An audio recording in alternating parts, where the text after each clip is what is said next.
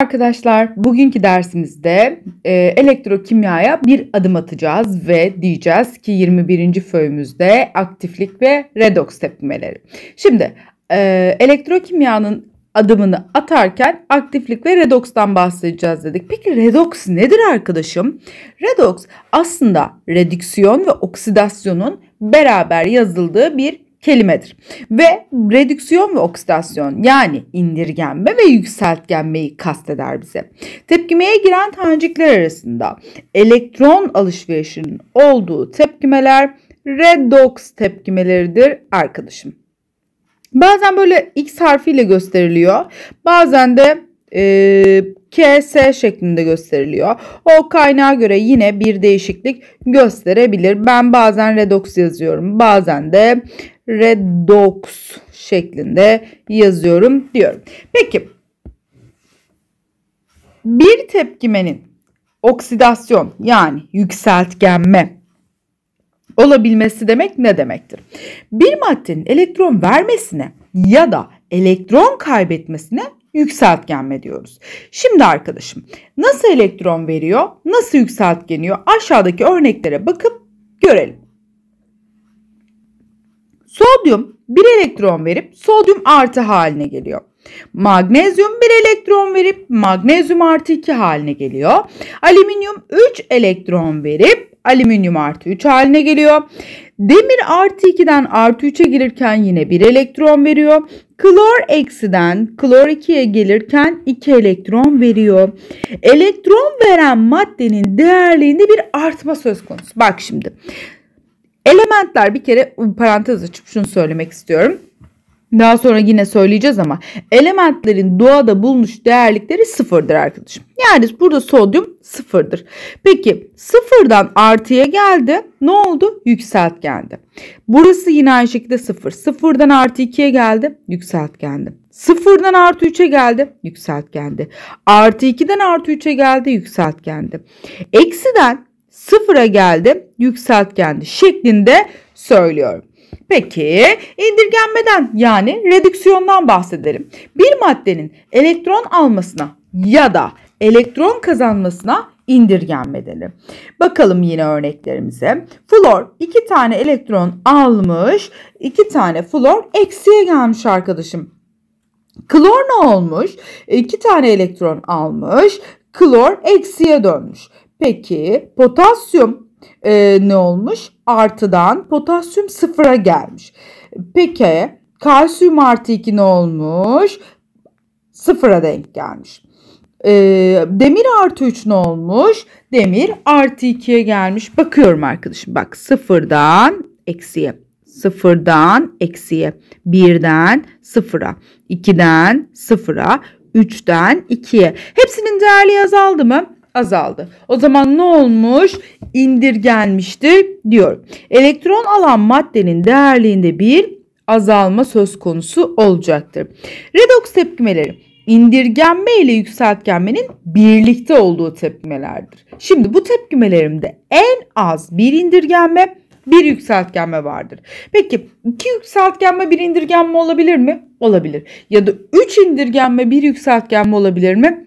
Olabilir diyorum. Bunu unutmuyorsunuz arkadaşım. Şimdi redoks tepkimeleri indirgenme ve yükseltgenme tepkimenin birlikte olduğu tepkimelerdir dedim. Ve bunların sayısının değişebileceğini ama en az bir yükseltgenme en az bir indirgenme olacağını söyledikten sonra. Şimdi bu bir yükseltgenme tepkimesi mi arkadaşım? Evet. Nereden anladın öğretmenim? Sıfırdan artı 2'ye geldiği için. Peki burası indirgenme mi? Evet. Artı 2'den sıfıra geldiği için. Şimdi indirgenme ve yükseltgenmedeki en temel olaylardan bir tanesi elektron sayılarının eşit olmasıdır ve elektronlar karşılıklı birbirini götürdükten sonra gerisini toplayıp redoks tepkimemi elde ediyorum. Şimdi devam ediyorum tanımlarımla o zaman. Redoks tepkimelerinde elektron vererek yükseltgenen madde indirgen. Elektron alarak indirgenen madde yükseltgen özelliktedir. Evet 2020'de AYT'de ÖSYM bize bununla ilgili ne sormuş? Haydi gelin inceleyelim. Bakırla H2SO4 arasında gerçekleşen redoks tepkimesi aşağıda verildiği gibidir demiş. Peki bakır yükseltgenmiştir demiş. Arkadaşım bakır burada hangi değerliğe sahip? Sıfır. Şimdi İstersen kök olarak yap daha kolay olur işin. SO4 kök olarak neydi arkadaşım? Eksi 2 idi. O zaman bakıra ne düştü? Artı 2. Sıfırdan artı 2'ye geldim. Yükseltgenmiştir diyorum ve yoluma devam ediyorum. H2SO4 indirgenen, indirgendir pardon. Şimdi H2SO4'e baktığım zaman kim için kastediyor olabilir bunu arkadaşım? Kükürt için kastediyor olabilir. Çünkü hidrojenin burada da artıdır. Burada da artı değerine sahiptir. Oksijenin burada da eksi 2. Burada da eksi 2. 8'den 2 çıktı. Buraya ne geldi? Artı 6. Şimdi ben bunu nasıl yaptığımı aslında şurada size daha net ayrıntılı olarak göstersem daha iyi olacak galiba.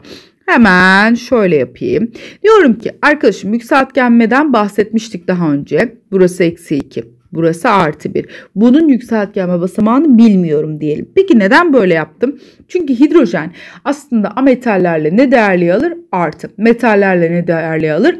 X. Bir kere bunu biliyoruz bu 1.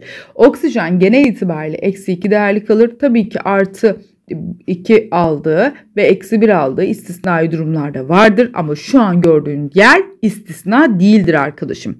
Peki kükürt neden değiştir öğretmenim? Çünkü o bir ametaldir değişen art, değişen değerlik alacaktır. 6A grubunda olduğu için de hatta artı 6 eksi 2 arasında değerlik alır diyorum. Hadi gelin bakalım.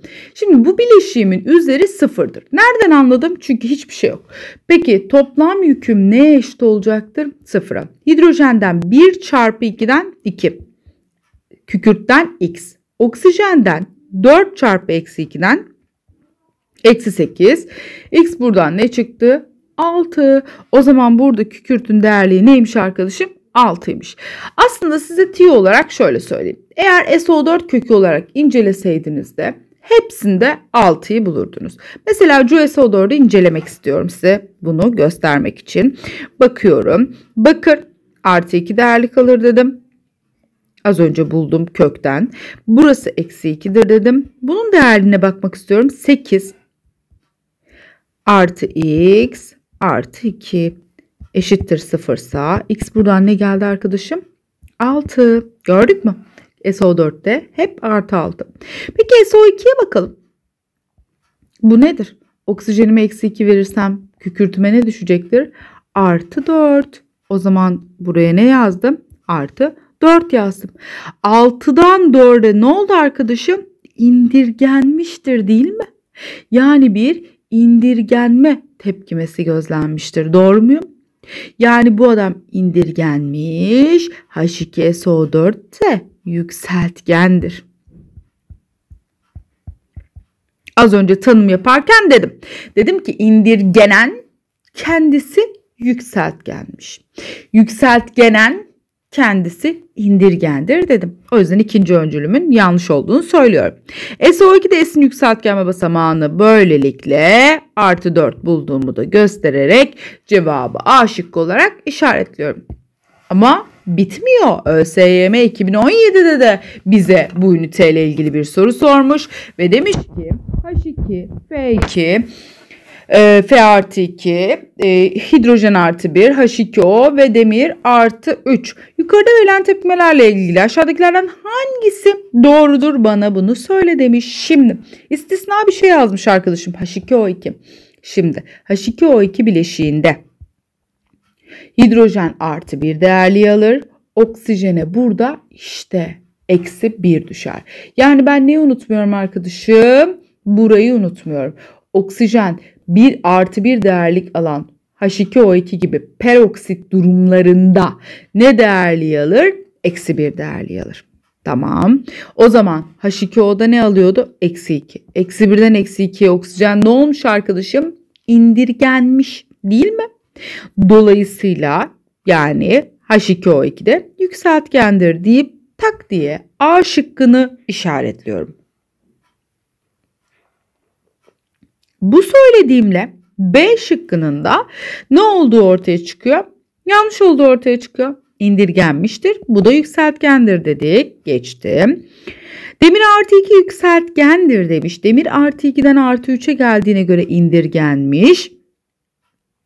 Dolayısıyla pardon eksi artı 2'den e, artı 3'ü yükseltgenmiş. Kendisi de indirgendir. Bu da yanlış. Hidrojen artı yükseltgendir. Hayır arkadaşım. Burada da hidrojen artı haldedir. Burada da artı haldedir. Burada da artı haldedir. Hepsinde sadece artı haldedir. O yüzden ne yükseltgenmiş ne indirgenmiş cümlelerini sarf edemem hidrojen için diyorum. Evet devam edelim bakalım yolumuza. Aktiflikten bahsedelim arkadaşım. Peki aktiflik ne? İçin aktiflikten bahsediyorum. Ya da bu aktifliğin değiştiği noktalar var mıdır derseniz elbette ki vardır. İlk olarak metallerdeki aktiflikten bahsedeceğim ve benim asıl işim buradaki aktiflik aslında. Başka aktiflik beni çok da fazla yani ametallerdeki aktiflik çok da fazla karşıma çıkmıyor öyle söyleyeyim size. Ama tabii ki ben hepsini bilmek zorundayım. Metallerde aktiflik dediğimiz zaman metallerdeki aktiflik elektron vermenin ölçüsüdür. Elektron vermenin ölçüsü hidrojene göre kıyaslanır. Eğer hidrojenden fazlaysan aktif metalsindir. Eğer hidrojenle göre daha düşüksen pasif metalsindir. Peki Burada zaten yazmış işte yarı soy ve soy metaller hidrojenden pasiftir, diğerleri aktiftir diye. Arkadaşım hidrojen benim için ana noktadır. Neden ana noktadır? Çünkü hidrojenin aktifliğinin sıfır olduğunu kabul ederim. Ve bunu baz alıp hareket ederim. Peki kim kalıyor geriye?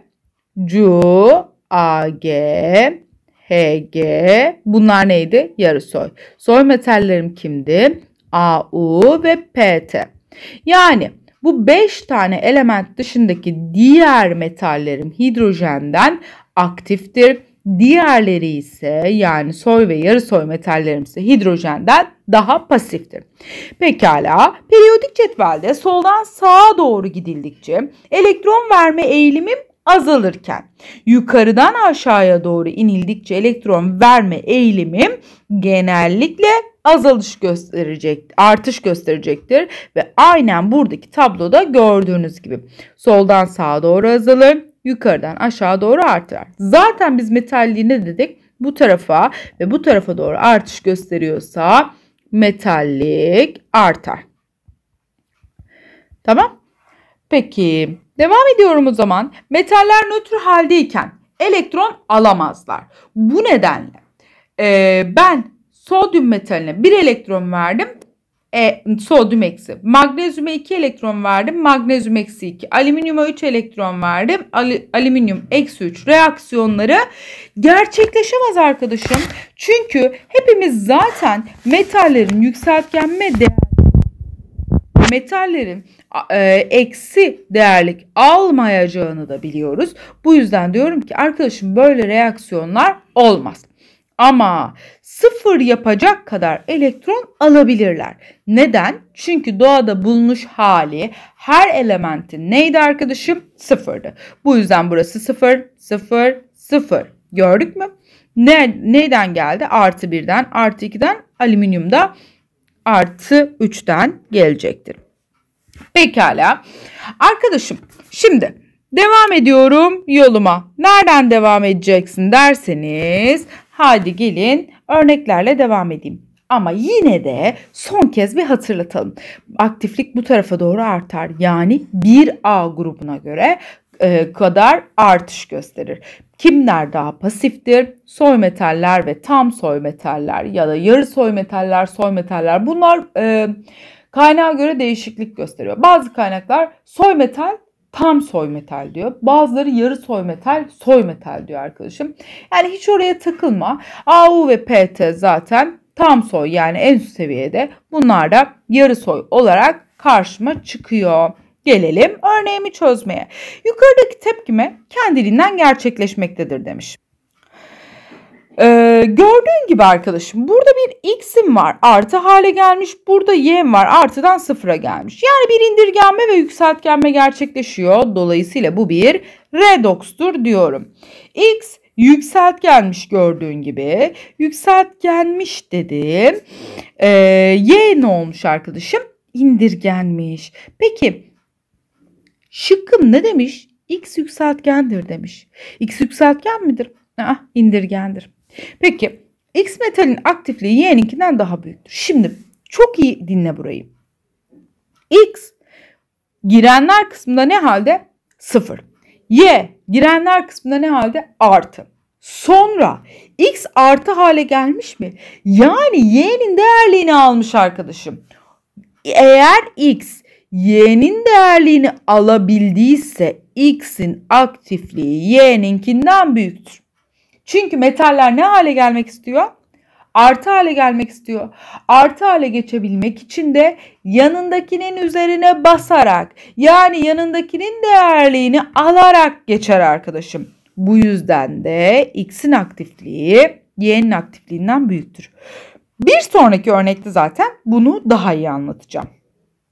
Şimdi demiş ki yukarıda verilen tepkimelerde yalnız birinci ve üçüncü tepkimeler kendiliğinden gerçekleşiyor. 2'yi kale almıyorum. 1'e bak. X ne olmuş artı 2'ye gelmiş. Yani kimin yerine geçmiş? Y'nin yerine geçmiş. O zaman diyorum ki X'im sen Y'den daha büyüksün. Şıklarda bunun dışında aksi durum gördüysen ele gitsin. Buraya gel arkadaşım. X artı 2'ye gelmiş. Z pasif kalmış. O zaman X'im kimden de büyük? Z'den de büyük. O zaman X her ikisinden de büyük. Peki 1 ve 3'ten bunu çıkarttım. 2'den ne çıkaracağım? 2 kendiliğinden gerçekleşmiyormuş. 2 eğer kendi gerçekleşemiyor. Yani zorla gerçekleşiyorsa o zaman bu tepkimede y artı 2 hale gelmiş ama kendi gelmemiş ya. O yüzden z y'den büyüktür diye yazacağım. Evet. Devam ediyorum metallerin asitlerle tepkimesinde. Aktif metallerin asitlerle tepkimesinden tuz ve H2 gazı oluşur. Aslında biz bunu asit baz tepkimesinde şöyle bir söylemiştik değil mi arkadaşım hatırlarsan? Dedik ki aktif metaller asitlerle tepkimeye girer. Evet yine tuz oluşturur ama yanında hangi gazı oluşturacaktır? H2 gazını oluşturacaktır dedik. Tepkimelerde hidrojenin serbest hale geçmesi H2 olarak tepkimeye giren metalin hidrojenden daha aktif olmasından kaynaklanır. Az önce söyledik. Kimler hidrojenden pasifti? Soy metaller ve tam soy metaller daha pasifti diyoruz. Alkali metaller diğer metallerden farklı olarak suyla hızlıca tepkime verecektir. Bu yüzden de arkadaşım kuvvetli olduğunu bir kere daha kanıtlamış olacaklar. Peki sodyum gibi aktif bir metal, bir A grubunda bir metal HCl ile reaksiyona girdiğinde ne oldu? NaCl oluştu ve H2 açığa çıkarttı. Şimdi bu tepkimeyi yazarken öğrencilerim diyor ki hocam ben bu tepkimeyi nasıl yazacağım? Sen eğer bir metal gördüysen yanına da bir asit yazdıysan ne yapacaksın biliyor musun? Eğer metalin bir A grubundaysa açığa çıkan H2 onun yarısı kadar 1 bölü 2'dir. Eğer madden 2A grubunda gibi bir magnezyum gibi bir madde ise yarısı 1 mol H2 açığa çıkar. Eğer alüminyum gibi 3A grubunda bir metalse 3 bölü 2 yani yine yarısı kadar H2 açığa çıkarır. E bunu ezberlemek zorunda mıyım? Yo hiç ezberlemene gerek yok arkadaşım. H2 çıkacak dedim mi ben sana? E dedim ne yapmalısın? H2 çıkması için neler olmalı onu düşünmelisin. Mesela sodyum 1A grubunda artı 1 yanına sen HCl'yi yerleştirdin. Ne olacak? Sodyum artı 1, klor eksi 1'den hop sana ne oluşacak? NaCl oluşacak. E bir de ne çıkar dedim? H2. E denklem denkleştir arkadaşım. 1 bölü 2 yaz. Mesela alüminyumu yazdım. Yine yanına HCl yazdım. Ne olacak? Al, Cl 3. Neden 3 oldu öğretmenim? Çünkü alüminyum 3A grubunda olduğu için. E buranın 3 olması için buraya ne yazmalıyım? 3 yazmalıyım. E denklem denkleştir. H2'den ne yazmalısın o zaman? 3 bölü 2 H2 yazmalısın. Bu kadar basittir diyorum. Tepkimelerde metalin katsayısını eğer 1 olarak alırsan H2'in katsayısı metalin değerlerinin yarısı kadar olur demiş. Aynı benim söylediğimden bahsetmiş. Yani metal kaçağı grubundaysa onun yarısı kadar da H2 elde ediyorum diyorum. Peki yarı soy ve tam soy metaller oksijensiz asitlerle reaksiyon verir mi? Vermez. Bunu daha önce konuştuk mu? Evet, yine asit baz ünitesinde bunu konuştuk. Bakır HCl ile reaksiyon vermez. Altın HBr ile reaksiyon vermez. Peki kimle reaksiyon verirsin sen arkadaşım? Oksijenli olan H2SO4, HNO3 gibi asitlerle reaksiyon verebilirim. Peki burada yarı soy metal, oksijenli asit, tuz, oksit ve tu, su olmak üzere 3 farklı madde elde edeceğim. Şimdi gümüş H2SO4 gibi bir asitle reaksiyona girdi. Ne oluşacak? Bu sorularda çok sık karşıma çıkıyor arkadaşım. H2SO4'ü gördüm. Çat diye yapıştırdım. SO2 açığa çıkarmalısın. HNO3 ile girdi. Çat diye yapıştırdım. NO2 gazı açığa çıkarmalısın. Her ikisinde de suyun çıkacağını zaten söyledik. Geriye kalan gümüş diğer iki baş katsayısı olduğu için diğer SO4'ü aldı. Reaksiyona girdi. Bakır diğer NO3'ü aldı. Reaksiyona girdi şeklinde yazacağım. Bizim için burada hocam bütün tepkimeyi ezberlememize gerek var mı derseniz yoktur. SO2 ve NO2 çıkıyor olduğunu bilmeniz olayı sonlandıracaktır. Pekala. Bu tepkimelerde kullanılan asitin derişik ya da seyreltik ol, olması açığa çıkan gazı türünü değiştirecek. Eğer sen HNO3'ü derişik değil de deriş, ya da şöyle yapayım. Derişik kullanırsan NO2 açığa çıkarırsın ama seyreltik kullanırsan NO gazı açığa çıkaracaksın diyorum. Altın ve platin soy metallerdir oksijenli ve oksijensiz hiçbir asitle reaksiyona girmeyecektir. Sadece ve sadece girdiği yer kral suyudur. Kral suyu kimdi arkadaşım? 3 mol HCl ile 1 mol HNO3'ün reaksiyonuydu. Bak bunların her ikisini reaksiyona girdirdim ve bana NO gazı, su ve altın 3 klorür vermiş oldum. Evet umarım anlaşmışızdır deyip hadi yine ÖSYM'nin sorduğu bir soruyla devam edelim yolumuza. Aşağıda 25 santigrat derece sıcaklıkta 3 farklı sulu çözelti verilmiştir. Bakıyorum 1 mol gümüş nitrat, 1 mol çinko nitrat, 1 mol, pardon mol diyorum molarite, e, nikel nitrat çözeltileri verilmiştir. Aynı sıcaklıklarda Hepsine ne atıyormuşum arkadaşım? Bakır. Bakır attıktan sonra soru diyor ki birinci kapta gümüş iyonları indirgenirken yani birinci kapta kim vardı? Gümüş nitrat vardı. Üzerine ne ekledim? Bakır ekledim. Bakırı eklediğim zaman ne olmuş? Gümüş artı indirgeniyormuş. Bakır nitrat oluşuyormuş. Peki hangileri doğru olur diye sormuş. Bu arada olan öncül değil bu. Bu tepkimem gerçekleşebilmesi için ne olmalı? Gümüşümün bakırımdan daha pasif olması gerekir. Peki size bir soru. Ben hidrojene hat alttaki bilgilere hiç bakmıyorum bak. Bakacağım biraz sonra ama şu örneği, şu öncülü alttaki bilgilere bakmadan H2'mden aktif ve pasifleri kıyaslamıştım. Kimdi pasif olan? Cu, AG, HG, AU ve PT'ydi. Doğru muyum arkadaşım? Evet. Şimdi bu öncülümde henüz bakmadım bakacağım diyorum. Ama size ikinci ve üçüncü öncül için bir şey sormak istiyorum arkadaşım. Diyorum ki burada çinko var mı? Var. Çinko hidrojenden daha aktif midir? Evet. O zaman yerini hidrojene verir mi? Vermez. Peki bakırdan daha aktif midir? Evet çünkü bakır daha sonlarda yani hidrojenin altında. Çinko nerede kaldı? Önde kaldı. O yüzden çinko yerini bakıra vermeyeceği için çözeltide bu bileşiğim aynen kalacak. Dolayısıyla bu kapta reaksiyon gerçekleşmeyecek. Peki üçüncü kapıma bakıyorum. Nikel mi var arkadaşım? Evet nikel var. Nikel nerede? Sonda olmadığına göre nerelerde? Buralarda değil mi? O zaman nikel de yerini vermeyecek. Doğru mu arkadaşım? O zaman nikel de yerini vermeyecekse bu bileşik aynen kalır mı? Kalır. O zaman üçüncü kapta da reaksiyon gerçekleşir mi diyorum? Gerçekleşmez. O yüzden üçüncü öncülmede yanlış dedim. O zaman tekrar dönüyorum bire bakıyorum. Peki birde neye bakacaksın öğretmenim dersen? İşte burada vermiş gümüş ve bakıra bakacağım. Kim kimden aktiftir? Onu inceleyeceğim.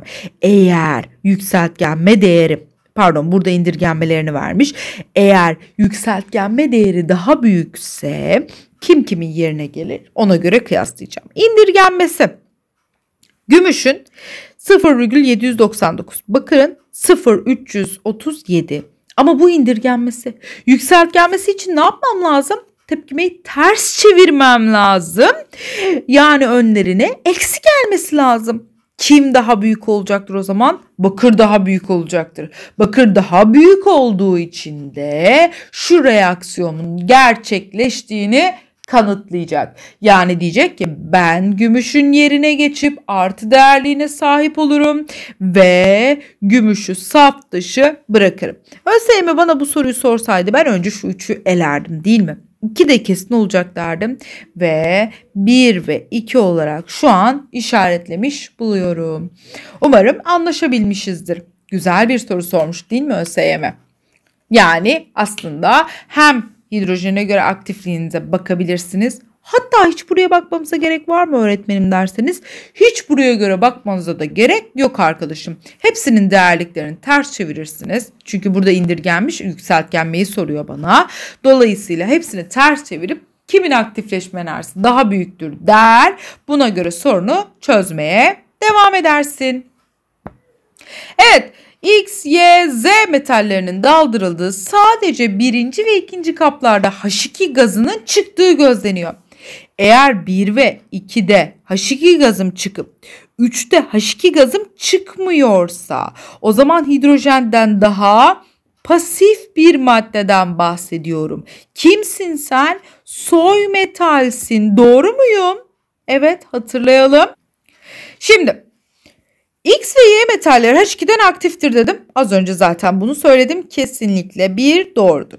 Z'nin aktifliği X'den küçüktür. E zaten Z'nin pasif olduğunu söylemedik mi arkadaşım? Bu da kesin doğrudur.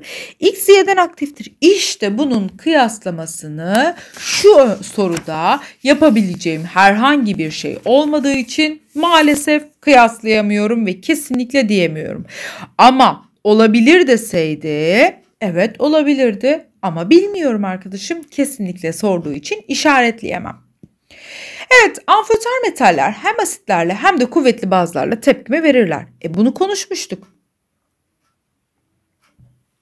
Al sana zengin papuçlu kro B gacı demiştik. Galyumu her seferinde ekliyorum çünkü bu son zamanlarda eklenen bir şey arkadaşım. Ee, unutmayın diye. Peki amfoter metaller oksijenli ve oksijensiz asitlerle tepkime verirler. Peki amfoter metallerim oksijenli ve oksijensiz e, asitlerle tepkime veriyorsa hadi gelin tepkimeleri inceleyelim. HCl ile reaksiyon verdi. Ne çıktı? H2. H2SO4 ile reaksiyon verdi. Ne çıktı? H2. Bazı reaksiyon verdi. Ne çıktı? H2 çıktı diyorum. Amfoter metaller de H2'den daha aktiftir. Bu nedenle asitli ve bazlarla H2 gazı oluşturur. Ametallerdeki aktiflikten bahsedelim. Demiştim ki bazılardaki aktiflikten e, pardon metallerdeki aktiflikten çok bahsedeceğim ama ametallerdekinden çok bahsetmeyeceğim demiştik hatırlıyor muyuz? Şimdi ametallerdeki aktifliği söyleyeceğiz. Hatta peşinden iki tane de örnek çözeceğiz. Ama metallerdeki kadar ayrıntı bir şeyler karşımıza çıkmayacak. Evet ametallerde aktiflik elektron almanın bir ölçüsüdür. Periyodik cetvelde soldan sağa doğru gidildikçe ve aşağıdan yukarıya doğru çıkıldıkça elektron alma isteği genellikle artacaktır. Peki elektron alma isteğinin sıralaması. Bak kökleri de sıraya alıp Böyle bu şekilde bir kıyaslama yapmış anyonlarda aktiflik olarak. Peki böyle bir tabloya yaz verebilmemize gerek var mı? Elbette ki hayır. Şekildeki krom metalinden yapılmış kapta HCl çözeltisi ve bu çözeltiye daldırılmış bir çinko çubuğu bulunmaktadır. Peki arkadaşım buna göre hangisi yanlıştır demiş. Elektron verme eğilimini sıralamış. Zn çubuk aşınır. Şimdi arkadaşım ben buraya baktığım zaman hidrojen nasıldır? Pasiftir değil mi? Hemen şimdi şöyle yapalım. Kabım neyden yapılmış? Kromdan yapılmış. İçerisine HCl koymuşum. Bir de üzerine çubuk daldırıp Zn yapmışım. Bir kere Zn hepsinden en büyük. O zaman çubuğum ne olacak arkadaşım? Hiç aşınmayacak. O yüzden çubuğum direkt aşınma gözlenecek. Neden? Elektron verme eğilimi daha büyük olduğu için. Şimdi şöyle düşün. Çinko ne değerlikte? Sıfır metalken. HCl'de hidrojen ne değerlikte? Artı. Çinkom ne olmak isteyecek? Artı olmak isteyecek ve dolayısıyla çubuğum aşınacak. Peki H2 gazı oluşur. E, aşındığı zaman tabii ki H2 gazı açığa çıkaracak. Çözeltinin zamanla pH değeri artar. Neden? HCl azalacak. H artı derişim, e, H artı derişimi azalmış olacak ve pH'ı artış gözleyecek. HCl krom kapta saklanabilir. Arkadaşım Krom da HCl ile reaksiyona girer. Çünkü krom da sıfırdadır ve HCl'deki H gene artı haldedir. E krom da hidrojenin yerine geçmek ister. O yüzden bu da olmaz. Zn indirgen maddedir. Çünkü yükseltgenmiştir. Kendisi indirgen maddedir diyorum. Geldim diğer bir örneğime. X, Y ve Z metal, ametallerinin kullanıldığı bu tarz tepkimeler varmış tamamı kendiliğinden gerçekleşiyormuş. Buna göre ametallerin aktiflerini, aktifliklerini kıyaslayınız diyor. Şimdi birinci öncülüme geldim.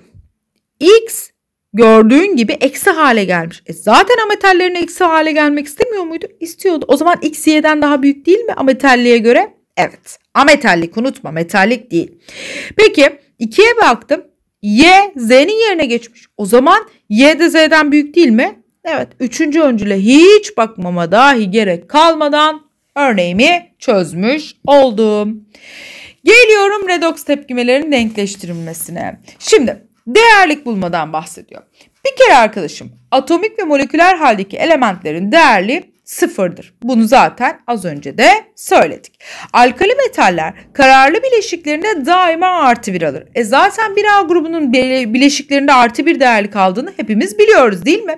Toprak alkali metaller kararlı bileşiklerinden artı 2 alır. Evet bunu da biliyoruz. 3A grubu olan alüminyum artı 3, bor elementlerinde pardon B grubu elementlerinden gümüş yalnız artı 1, Çinko elementi ise yalnız artı 2 alır. Bunların hepsini hatırlayalım. Daha önceki ünitelerimizde defalarca söyledik. Halojen bileşiklerinde flor sadece eksi 1 alırken diğerleri eksi 1 ile artı 7 arasında de değişen değerli kalabilirler. Hidrojen ametallerle yaptığı bileşikte artı 1, metallerle yaptığı bileşiklerde eksi 1 alır. Oksijen oksitlerde eksi 2, peroksitlerde eksi 1, süperoksitlerde ise 1 bölü 2 değerliğini alacaktır. Peki oksijen için şunu hatırlatmak istiyorum arkadaşım. OF2. OF2 neydi? Eksi 1 değil miydi? Flor sadece eksi 1 aldığı için. Oksijen burada ne aldı? Artı 2. Bunu da unutmayalım. 1A ya da 2A elementlerinden oksijenli formülleri peroksittir. 1A'daki elementlerin XO2 şeklindeki bileşikleri süperoksittir. Tek atomlu iyonlarda değerli iyon yüküne eşittir. Bileşiklerde yüklerin toplamı her zaman için sıfırdır.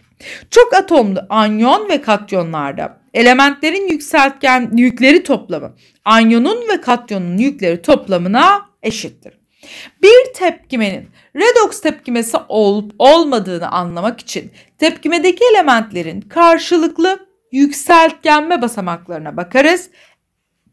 En az bir elementin değerliğinin değişmesi tepkimeyi redoks yapardır demiştik az önce. O zaman devam ediyorum örneğimle. Yukarıdaki bileşiklerde bulunan azot atomlarının yükseltgenme basamakları büyükten küçüğe doğru nasıl sıralanır demiş. Arkadaşım NO2 Azotu bulacağım. Oksijene eksi 2 dedim. Azota ne düştü? Artı 4. NH3. Hidrojen artı 1 düştü. Azota ne düştü? Artı eksi 3 pardon. HNO3. Oksijene eksi 2 düştü. Hidrojene artı 1 düştü. 6'dan 1 çıktı. Ne düştü? 5. Peki kim büyükmüş? 3 en büyükmüş. 3 en büyük. Sonra 1. Sonra 2, 3, 1, 2 deyip cevabımı işaretliyorum. Hadi devam edelim diğer örneğimizle. CL4, ClO4 eksi ve KMNO4, H2SO3 ve NO2, H3PO4 ve HNO3 yukarıda verilen tanecik çiftlerinin hangilerinde altı çizgili olan elementlerin yükseltgen ve basamakları eşittir? Nasıl hesaplıyoruz dedim arkadaşım. Yük varsa o yüke eşittir, yük yoksa sıfıra eşittir demiştim. Hadi tek tek size bunların nasıl hesaplandığını göstereyim. Üzeri eksi olduğuna göre yani ne demek? Eksi 1 demek. O yüzden neye eşitleyeceğim? Eksi 1'e eşitleyeceğim. Buranın üstünü ve benden klorun değerliğini istiyor. Oksijen nedir? Eksi 2. Zaten arkadaşım eğer oksijenin değerliğini istemediği sürece sen oksijeni eksi 2'yi yapıştır. Hiçbir sıkıntı olmaz. Aynı şey hidrojen için de geçerli. Buraya da ne dedim? X. X eksi 8 eşittir eksi 1'den. X eşittir 7. Peki KMNO4'ten devam ediyorum. Potasyum artı 1. Oksijen eksi 2. MN'ye de X dedim. 1 artı x eksi 8 eşittir ne arkadaşım? 0. Neden eşittir 0 öğretmenim? Çünkü üzeri ne hiçbir şey vermediği için. Burası ne oldu bana? 7. O zaman birinci öncül doğru. Ay B şıkkını da silmeyelim tabii ki. B şıkkında çünkü bir var. Devam ediyorum. Ben böyle elemeyi seviyorum arkadaşım yani hani o benim tarzım. Ee, başka bir e, şeyle alakası yok yani illa eleyerek gitmek zorunda değilsin ya da sen bilirsin diyelim. Evet hidrojenden 2 geldi. S'ten X geldi. Buradan eksi 6 geldi. Eşittir sıfırdan X eşittir 4'tür. Ee, buradaki x'i 4 buldum. NO2'ye geldim. Oksijene eksi 2 yazdım. Buraya x dedim. X ne çıktı bana? 4 neden? Üzeri 0 olduğu için yine. O yüzden 2 de benim doğru öncüllerimin arasındadır. H3PO4'e geliyorum. H3PO4'te hidrojen artı 1 yazdım arkadaşım. Buraya eksi 2 yazdım. Şuraya x yazdım. 3 artı x eksi 8 eşittir sıfırdan. x eşittir 5'tir diyorum. HNO3 e, oksijen eksi 2 yazdım. Hidrojen artı 1 N'e x yazdım. 1 artı x eksi 6 eşittir sıfırdan. x'im bana ne çıktı? 5. Gördüğüm gibi arkadaşım 3 e, şıkkında daha doğrusu birinci, ikinci, üçüncü maddelerin üçünde de e, değerlikler birbirine eşit çıktı. Bu sebepten dolayı cevabım 1, 2, 3 olarak karşıma çıktı. Haydi gelin devam edelim. Nötr madde tepkimelerinin denkleştirilmesi yani iyonsuz tepkimelerin denkleştirmesi. E, şimdi arkadaşım daha önce iyonlu tepkimeler ve iyonsuz tepkimeler olmak üzere iki çeşitte redox'tan bahsediyorduk. Ama şu an aslında redox'ta karşımıza genel itibariyle iyonsuz tepkimeler çıkar. İyonlu tepkimelerle ilgili hesaplamayı kaldırdı müfredat. O sebepten dolayı burada ekstra ekstra iyonsuz diye belli etmiş o yüzden. Ee, redox tepkimelerinde elektron alışverişine dayalı tepkimelerdir. Peki tüm tepkime türleri e, denklemindeki bütün elementlerin değerlikleri bulunur. Değerliği değişen yani yükseltgenen ve indirgenen elementler belirlenir. Peki alınan ve verilen elektron sayıları belirlenir. Yükseltgenme ve indirgenmede elektron sayıları uygun katsayı kullanarak eşitlenir. Yükseltgenme ve indirgenmede elektron sayıları uygun katsayılar kullanarak eşitlenir. Kullanılan katsayılar denklemde değerliği değişen elementlerin ya da bu elementlerin bulunduğu formüllerin önüne yazılır. Diğer elementlerin katsayıları atom sayıları dikkate alınarak belirlenir.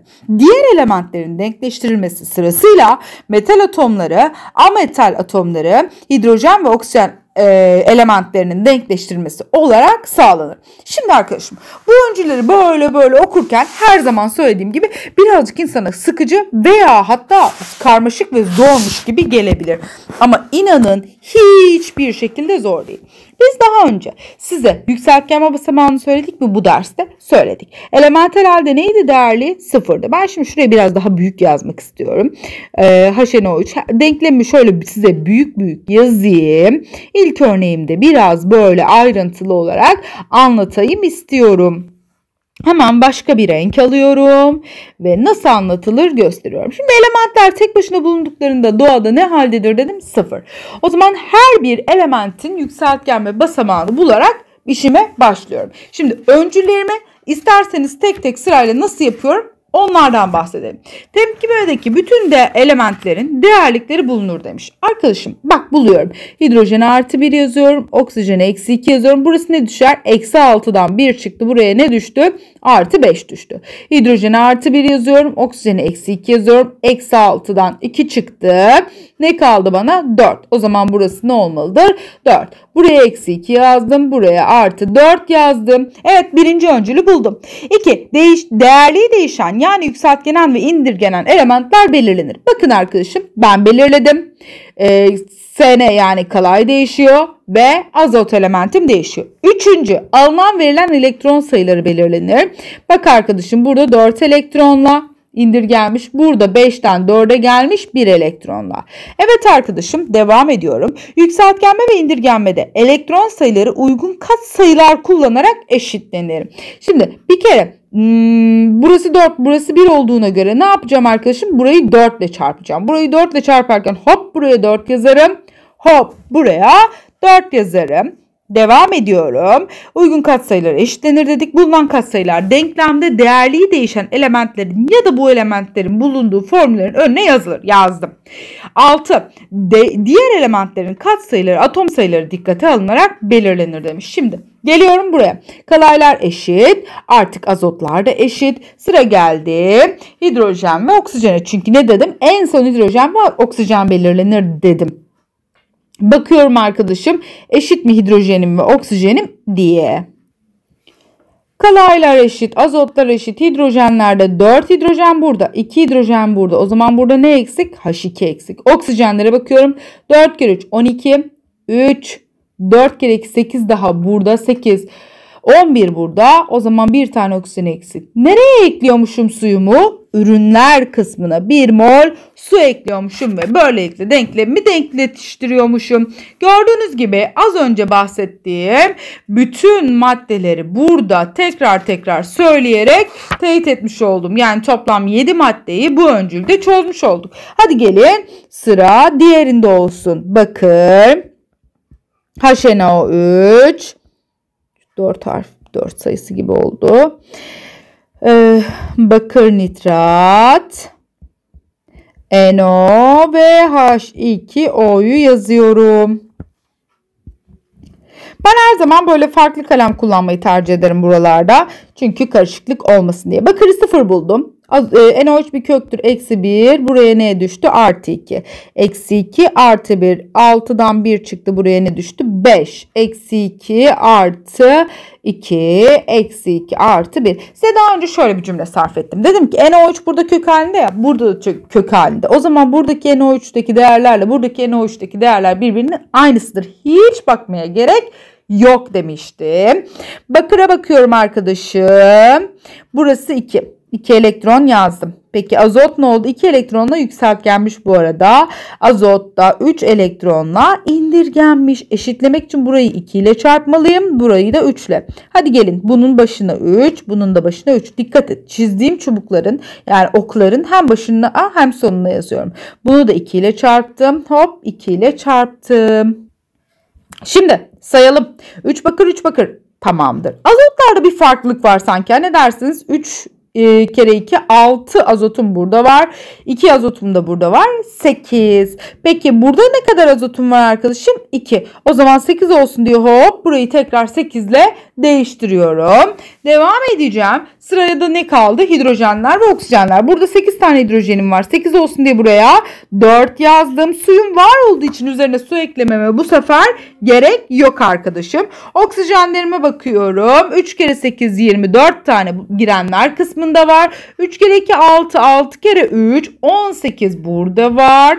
2 burada var ve 4 de burada var. Uh, artı bayağı şey olmuş. Evet. Şimdi toplayalım arkadaşım. 24. E girenlerde kaçtı? 24'tü. Benden suyun kaç sayısını istemiş? 4. Denklemim denk olduğuna göre cevabım da doğrudur deyip devam ediyorum. Evet son örneğimden bahsedeyim. Evet karbon, HNO3, karbondioksit, NO artı H2O. Evet değiştirelim rengimizi bu sefer yeşil olsun. Karbon 0 eksi 2 buradaki karbonum artı 4. Burası eksi 2 burası artı 2 burası eksi 2 burası artı 1 eksi 2 artı 1 ve burası da 5'tir diyorum. Şimdi bir kere bu bir indirgenme ve yükseltgenme tepkimesidir. Bunu tartışmayacağız. Neden? Karbon sıfırdan artı 4'e geldiyse mutlaka başka bir değişen de vardır diyorum ki söylüyorum. Azot 5'ten 2'ye gelmiş. Karbon indirgen. Arkadaşım karbon yükseltgenmiştir. Kendisi de indirgendir. Burası doğru. HNO3'e geliyorum. Burası indirgenmiş. Kendisi de nedir? Yükseltgendir. Bu da doğru. Denkleştirilmiş tepkimede suyun katsayısı 2'dir. Hadi gelin denkleştirelim. Burası kaç elektron? 4 elektron. Burası kaç elektron arkadaşım? 3 elektrondur diyorum. Peki Burası 4. O zaman çat 4 ile 4'ü yazdım. Burayı da 3 ile çarpıyorum. Hop 3 ve 3'ü yazdım. 3 karbon 3 karbon, karbonlarım denk. Azotlarıma bakıyorum. 4 azot, 4 azot denk. Hidrojenlerimi denkleştirmek için buraya 2 yazdım. Ee, oksijenlerime bakıyorum. 4 kere 3, 12. 3 kere 2, 6. 4 ve 2 de buradan gördüğünüz gibi 12. Yani denklemim doğru ve suyun katsayısı 2'dir. Evet arkadaşlar redox'tan bahsettik. E, elementlerimin yükseltgenme basamağından bahsettik hem denkleştirmeyi gördük. Aslında kısacası elektrokimyaya bir geçiş yapmış olduk. Tabii ki elektrokimya adı üzerinde sadece geçiş yaptık diyorum. İki föy daha bundan bahsedeceğiz. Kendinize iyi bakın diyorum. İyi günler, sağlıklı günler.